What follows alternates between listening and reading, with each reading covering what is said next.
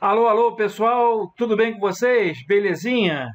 Ramos Informática na área aí, nosso canal trazendo para vocês hoje mais um vídeo. O nosso vídeo de hoje, vamos ensinar para vocês como restaurar o Windows para uma data anterior. Isso quer dizer o quê? Uma restauração do sistema. E para que serve essa restauração do sistema, pessoal?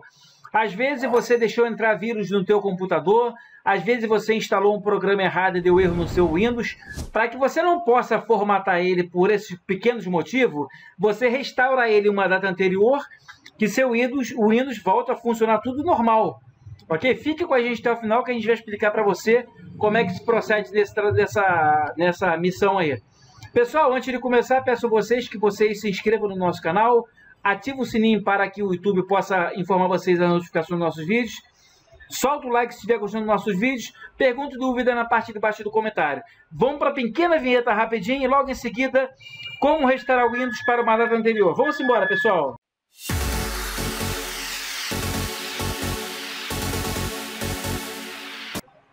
Pessoal, a gente vai vir aqui do lado do menu iniciar em pesquisar, a gente vai digitar o comecinho, criar que automaticamente vai aparecer aqui em cima, criar ponto de restauração. Se não aparecer, vocês digitam tudo aqui embaixo, tá? Clica aqui em ponto, criar ponto de restauração. Vai abrir essa caixa aqui. Aqui nós vamos criar e aqui é a função onde a gente vai restaurar.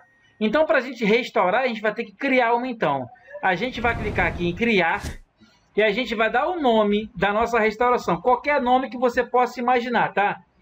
Eu vou botar aqui, ó é, Ramos Informática 2021. Uma suposição, o meu nome vai ser criado, tá? Vou criar aqui, ó. Hoje é dia 22 de janeiro, tá?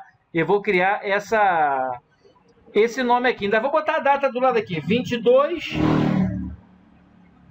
espaço 01 2021. Tá aqui então. Vou arrancar esse nomezinho no começo aqui. Vou deixar meu nome com mais a data e vou criar.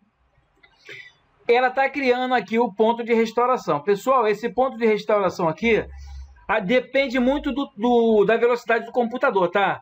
O meu aqui está em tempo real. Eu creio que deve fazer em um minuto mais ou menos. Tá? Em um minuto deve fazer o meu computador.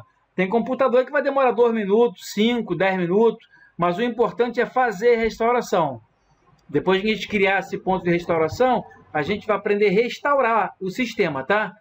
Como eu havia dito, essa, esse ponto de restauração é muito bom. Que quando entrar um vírus no teu computador, entrar algum algo errado de programa que você instalou, que parece que danificou, você restaura que volta tudo normal, tá? Aqui, o meu foi feito rapidinho, não demorou nem um minuto, ó. Ponto de restauração criado com êxito. Já com ponto criado, se der, quando der o problema de der erro no computador, entrar vírus ou algo parecido acontecer, o teu computador ficou ruim. Você vai e restaura ele. Aí você entra no criar ponto de restauração. Em vez de criar, vocês clicam aqui em restauração do sistema.